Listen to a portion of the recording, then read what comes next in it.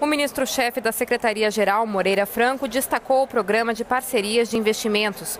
Segundo ele, as novas regras estabelecidas pelo governo para licitações e concessões criaram um ambiente de concorrência mais atrativo para os investidores. Mudamos todo o ambiente regulatório, é, dando prazos, é, garantindo é, uma, a previsibilidade para que os, os investidores pudessem se organizar, fazer suas análises de risco, é, demos tempo suficiente, obrigou-se que toda a documentação fosse publicada não só em português, mas em inglês e espanhol, para que todos tivessem acesso ao mesmo tempo às informações mais, mais abertas.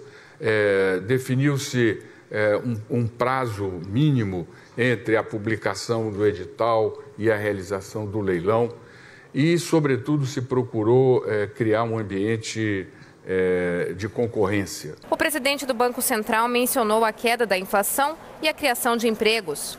Nós já temos criação de empregos. O último número foi 36 mil empregos que foram criados e a produção 0,8% está consistente com uma grande recuperação da economia brasileira. Hoje o Brasil foi o destaque da edição do jornal Financial Times. O jornal publicou um caderno especial sobre o país, destacando as oportunidades de investimentos em infraestrutura. A publicação traz uma entrevista com o ministro da Fazenda, Henrique Meirelles, e destaca um programa com investimentos de 45 bilhões de dólares. No evento promovido pelo jornal, o ministro da Fazenda, Henrique Meirelles, destacou as reformas fiscais no Brasil, como o limite dos gastos públicos e a modernização da legislação trabalhista. Ele também falou sobre a expectativa de crescer 3% em 2017 e confirmou sua convicção de que as reformas propostas pelo governo serão aprovadas pelo Congresso. Um resultado muito importante político nós esperamos das reformas é que nós criemos mais empregos, mais crescimento, mais renda, menos inflação. E no final do dia, isso é, é um benefício para todos. Nós já estamos vendo os resultados desses esforços. Ah, temos evidência que tem um crescimento que já está acontecendo no Brasil.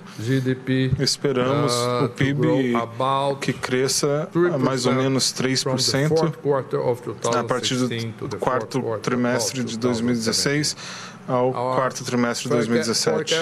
Durante o evento, o presidente Michel Temer garantiu aos participantes que o Brasil é um país seguro para investir.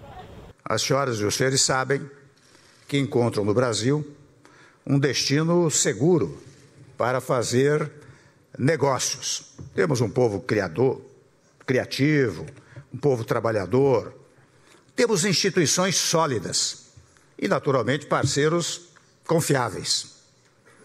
O Brasil acumula ao longo do tempo características que o tornam especialmente atrativo para investidores de todas as partes do mundo.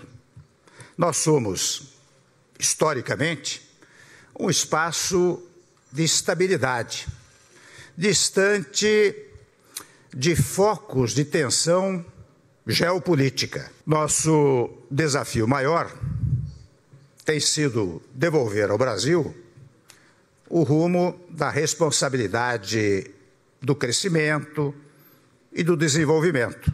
O presidente também falou sobre concessões. Já tiveram ocasião de conhecer em maior detalhe nosso abrangente programa de concessões e privatizações. Nós aprendemos que o Estado não pode fazer tudo. Não importa para o cidadão ah, se o serviço é prestado pelo Estado ou pela iniciativa privada, desde que haja um serviço acessível e de qualidade. Nós acolhemos, naturalmente, de braços abertos, né? Todos os que quiserem ir ao Brasil para ampliar nossa infraestrutura, nossa economia, gerar empregos. Uh, portanto, estejam certos. Investir no Brasil é ganhar.